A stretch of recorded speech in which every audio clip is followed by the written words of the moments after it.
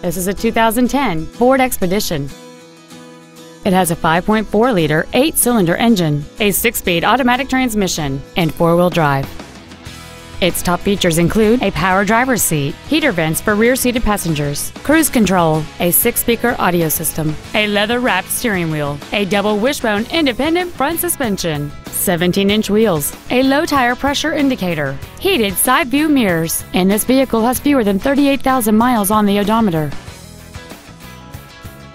Stop by today and test drive this vehicle for yourself. Longmont Ford is dedicated to doing everything possible to ensure that the experience you have selecting your next vehicle is as pleasant as possible. We're located at 235 Alpine Street in Longmont.